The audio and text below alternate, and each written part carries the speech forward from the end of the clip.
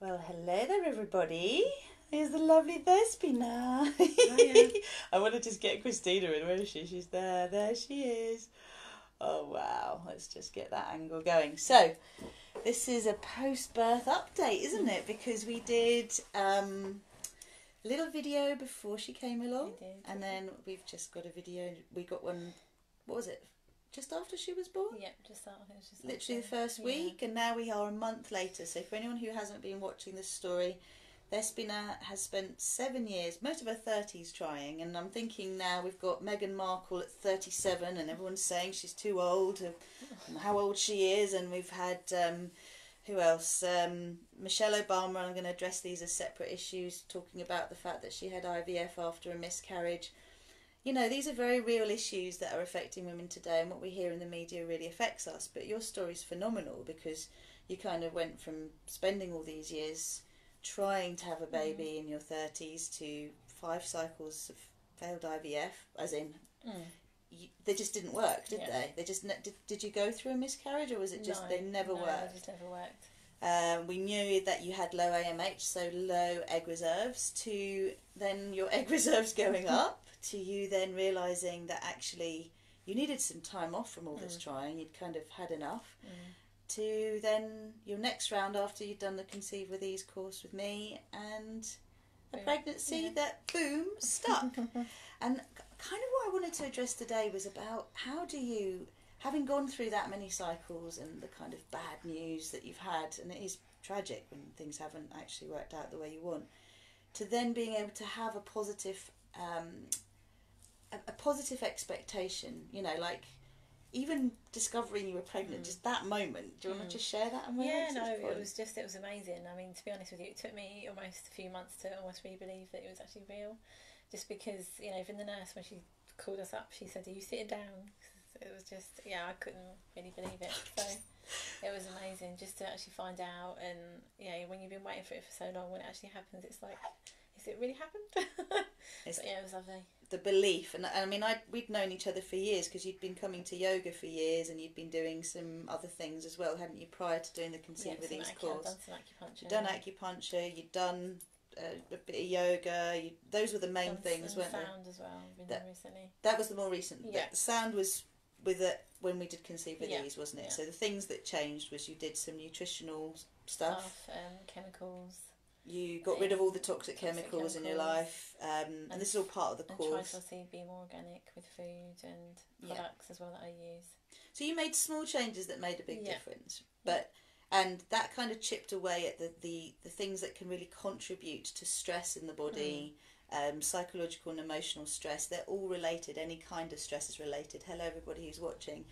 Um, but to actually get to the point that now you are pregnant, and it's Mm. like okay. Obviously, when you've wanted something for so long, there's the fear of it not working out, and how you get yourself through the pregnancy. And you've just said you spent months not quite believing it. At what point did you believe it? At what Um, point did? I don't know. It's, yeah, it's even now. Sometimes I look at her and I still can't really believe it. Oh, Oh, hello, hello. Hey, and- sweetheart. What about the fact that, in terms of stress in pregnancy, how stressed did you feel, or how frightened Um, did you feel? Not, I wouldn't say I felt. I mean, I felt a little bit obviously sort of stressed, especially the first three, sort of three months. But um, I think after I got past the th- the three month sort of point, I think I was, I think I, f- I was all right. Because I think I'd always sort of known deep down that if I did get pregnant, I would keep it. You knew it would So stick. I knew it would stick. So Yeah. I wasn't. I don't know why. I can't even explain why, but I just knew it. So It was a deep knowing. yeah. Yeah. So um, but yeah. I mean, obviously, I was just a bit kind of extra cautious with everything that I did. You know, with my driving, with you know, kind of with my general life and what I ate, and you know, I was a bit sort of obviously a bit more, a lot more careful than I normally would be. But And then I look, I love Thespina's story. Now Thespina and I have a sort of Greek background in common, and Greeks are very fear-driven, very anxious beings. Sorry, anyone else who's. Greek. I don't know many calm Greeks, so there are always the exception to the rules. Hello, Courtney. Um, but the thing I wanted to touch base on today was the fact that you know we know stress is is very challenging to getting pregnant in the first place.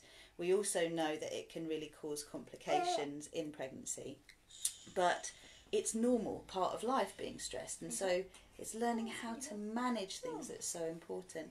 Hello, Christina. Hello. hello, hello, hello. Oh, we'll kill over the baby. So yeah, the you know the thing that I think is so important about you is it was about just making the small changes that made the big Mm. difference. It wasn't about never being frightened, No. never being stressed, No. and neither changing your culture completely. And. I think sort of as well as the whole belief, I think as well that it could actually really definitely happen. Oh, sweetheart, don't get upset. If you need to feed her, don't worry. I'll move the camera and you can do your thing, and I'll talk to the camera. But essentially, you did talk about belief last time, and it is Yeah. the biggest boundary I have with the clients that really take longer to get pregnant. It's the fact that they just don't, believe, they can, Yeah, and you have to That hear lots of different stories. Yeah, that was really massive for me. I think because when you've obviously been told with these this, the bad news and obviously these bad things happen, you know, with fail cycles, and then to then kind of actually believe, you know, that it actually is happening, you almost don't want to set yourself up for disappointment. yeah. Oh, sweetness, it's okay, it's okay.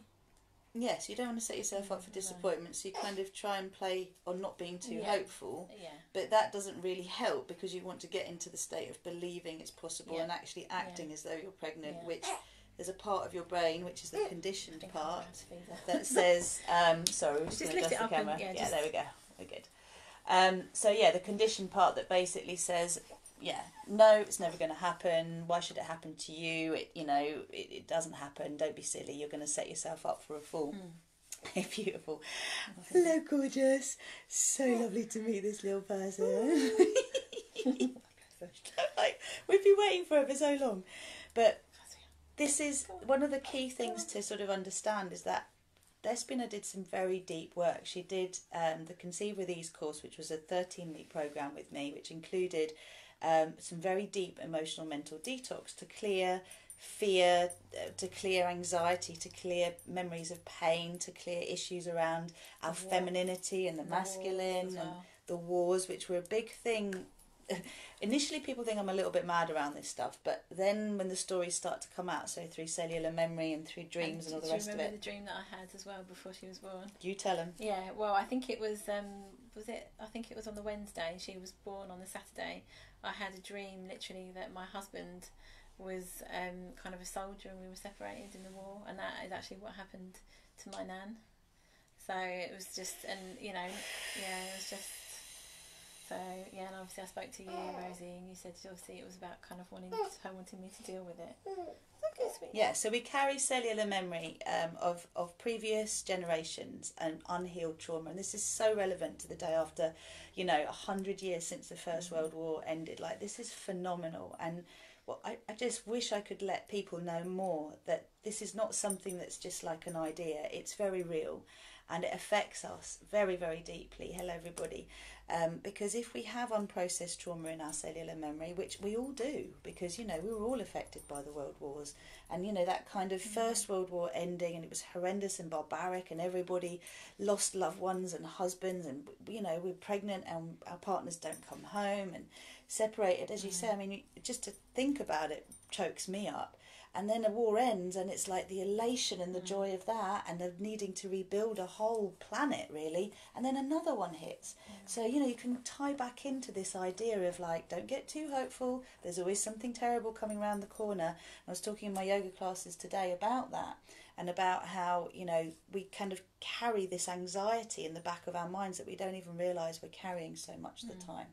So when we talk about stress, we recognise that stress is a normal part of life, but we also recognise that f- for many of us, we can just not feel safe to get pregnant until we have really cleared trauma. And sometimes we get pregnant by accident, and that's like taking us by surprise. But then we don't get pregnant again because there are things to heal.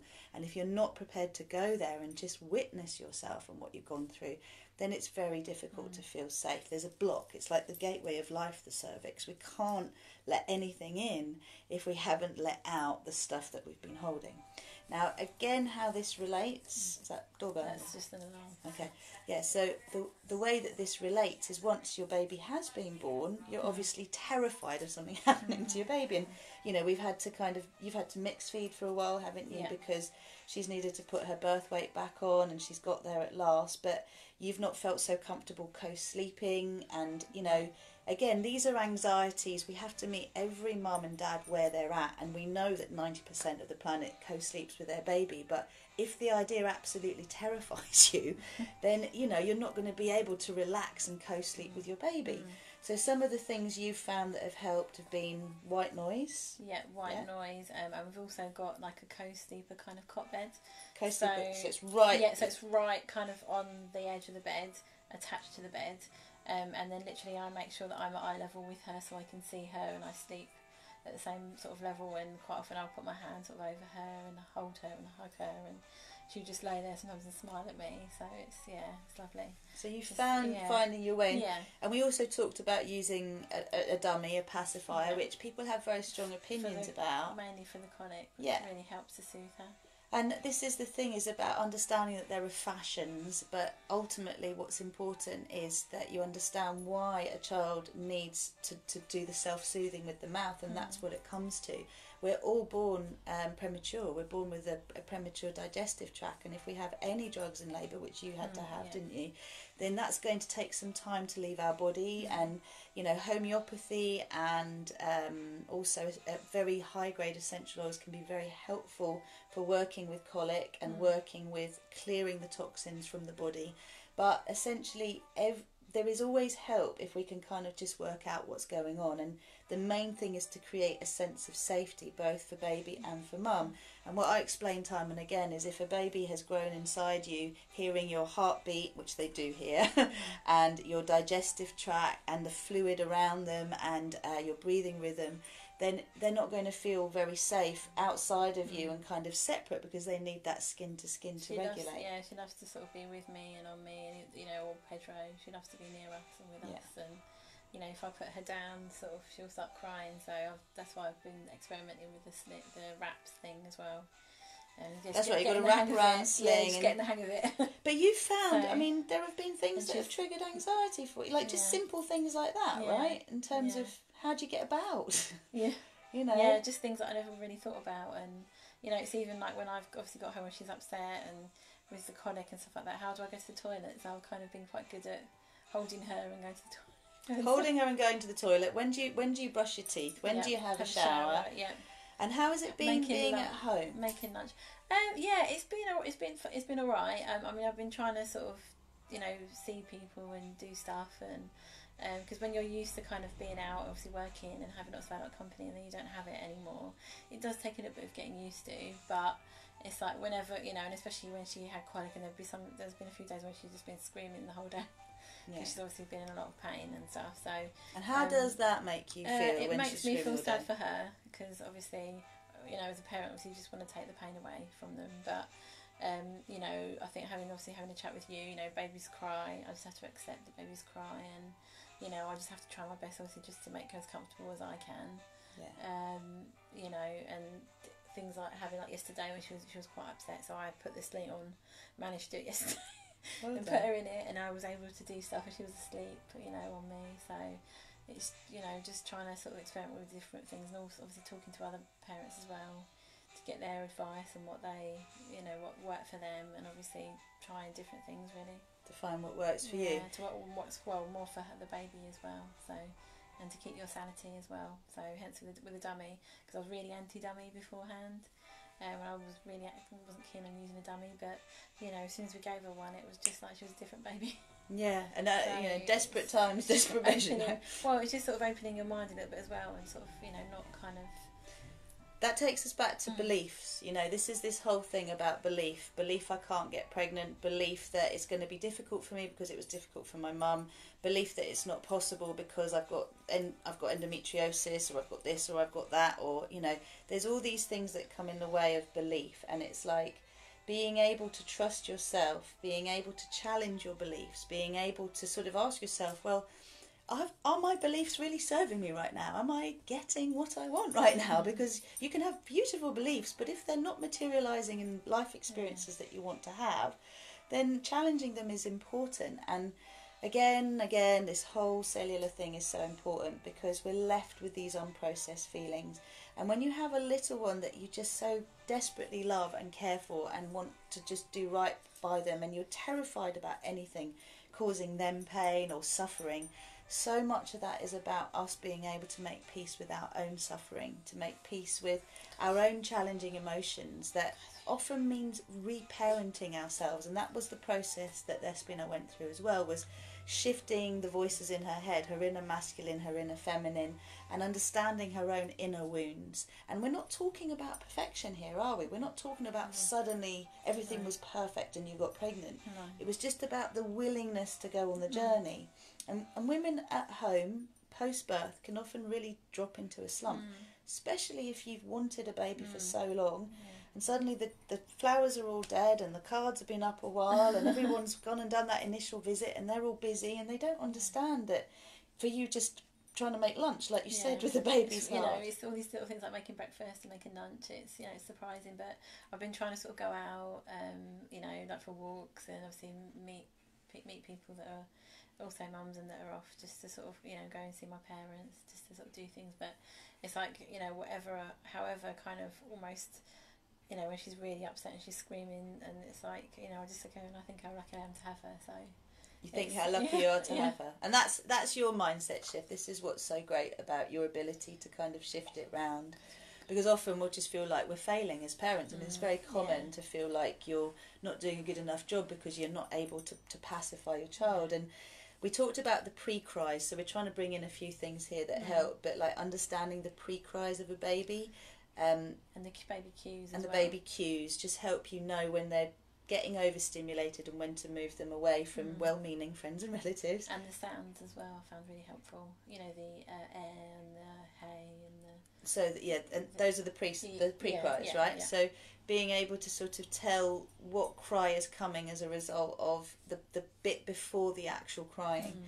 Mm. Um, I mean, this all means a, us slowing down to meet the pace of the baby, and it does mean being at home. Yeah, and it does take time as well, you know, Yeah. sort of because, you know, even just sort of getting used to sort of all the noises that she's making and the cues that she's making, because obviously every baby's different.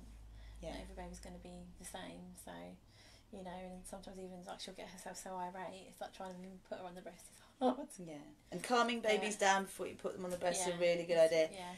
But this is the expert. This lady is the expert on this baby, and the point is, these two have never met consciously as far as memory allows before. And we go to the midwife, we go to the health visitor, we go to the paediatrician, we go to our parents, we go to our friends, and all we can do is hear things and then see what works for Mm. us. But one thing I wanted to ask you, because we talked about stress incontinence, we talked about closing the stomach muscles. You know, these are totally common things that happen post birth. Is that we need to strengthen our pelvic floor, we need to close our body back up after birth, and fill the space our baby grow, grew in. So, have you missed your bump? Um, I did sort of uh, for the first few days. It was just very strange. I didn't miss it. It was just very strange. I think. Okay. But then, kind of having her there, it was just like again, I almost couldn't believe that she was really there. So, would you say you're generally bathing in bliss is an Yeah, afterthought? I did, yeah. definitely. Are there any more challenging emotions that have come up for you that maybe are ones you recognise from before even being pregnant that are just Um, there with you? not so much about obviously her and you know obviously you know they've got other issues around my family and whatever my dad, but yeah, nothing really with her. I don't think. So, so one of the things I picked up with Despina, and it's important to share with you, and we will bring this video to close in a sec, is that known her, knowing her for many years and being I'm an intuitive empath myself, I could see that she was a sponge for the negative emotions of the people around her, and because she cares so much for people and for well, you're just a caring person. The people closest to us, without meaning to, can really often just energetically offload on us, and we out of love take that on and one of the things I felt was so acutely strong for Despina was that the pain she was carrying in her cellular memory was not hers. It was not your direct experience, but you kept having this experience of loss, mm. of seeking something and then not having mm. it in order to be able to process those mm. feelings, didn't you? And it was like this grief that is unhealed in us, it's so prevalent and it's so apt that we're dealing with Remembrance Day at the moment. So I'm urging all want to be parents to recognise that we all have post World War trauma in our cellular memory. We all have stories, and that healing that and clearing that is important. Um, final thoughts? Anything you want to share? I mean, how, how do you feel the Conceive with Ease program prepared you for being here right now? Um, I think it just, like I sort of said previously, it just gave me the belief, really, um, and just sort of changed my perspective, and um, just I feel like I'm much more grateful, and you know, I think also the fearless one as well, kind of. was You did both both, didn't you? Yeah. So just yeah, just made me feel, just changed my perspective, and kind of, you know, made me more kind of grateful of what I did do have, rather than worrying about what I didn't have, and You shifted your Yeah. perspective in that Yeah. respect, but you were able to stick at it because Yeah. you'd done the deeper Because- subconscious yeah, reprogramming. Yeah. Um, and I kind of yeah, and then I sort of obviously kept the belief that it would happen sort of when it was meant to in the whole divine timing. The belief that it will happen when it's meant to in the whole divine timing, and that means even when our moon time or our period comes every month, that we're able to hold that space that it's okay, my body knows what it's doing, and the right time it's Mm. going to come. Mm. So um, we're doing an amazing job here, aren't we? I mean, you've got a lovely, calm baby who's growing into herself, and you're a lovely mummy. I'm so glad I'm sitting here with you after all these years of knowing you, because I've known you a really long time, haven't I? yeah, and to Yeah. see you go through the work and to trust it and to Mm. try things and not give up mm. and to dig deep because it was deeper than I think you would have looked yeah, otherwise. much deeper, and Yeah. you know they're not giving up as well. I think, and sort of also changing kind of my perspective on kind of life and health and food, and you know made such a difference. You know, kind of know just for my future health as well as kind of having a baby. So Spot on, spot on. And the one thing I've noticed for you throughout your pregnancy and post is you've got colour in your cheeks, whereas um, there's been a you used to be quite quite grey, more Yeah. sallow before, and you've Mm. really like just through making these changes and you know one of the things we do cover on the course is um, thinking about the nest, thinking about the space that the Mm. baby's coming into, and even having conversations with your partner. Because I, I I send a list of questions as part of the course to kind of consider, you know, how what your ideas are around bringing babies up and, and actually where you agree and where you don't and how you then go deeper into it and um, find your answers so that you can create some harmony because when you have very different ideas so maybe when one's a lot more green or open-minded or hippie than the other Mhm. and you know there, there are conflicts that aren't really addressed because there's the fear of creating one Mm. argument after another but when you know your starting position and then we have so much research now to support us to make decisions that are right for us. And a book that I'm a huge advocate of is What Every Parent Needs to Know by Margot Sunderland, which I lent you, didn't I, to Yeah. have a look at. And I think everyone should read that before they even fall pregnant because it kind of gets you to think about the way you were parented and maybe the way you deal with trauma and pain and uncomfortable feelings and to think is the headspace I have inside of me one I want my child to inherit and if it isn't then the work is so important to do ahead of time Mm. because you, you want to know that you're downloading the, the perception of life that is one you'd like to pass on. So I think we'll leave it there. Any final thoughts for parents to be in the No, making? No? just enjoy it. Enjoy it and there is a joy to slowing down, isn't there? And and just being with your baby and getting to know them. have you been feeling lonely?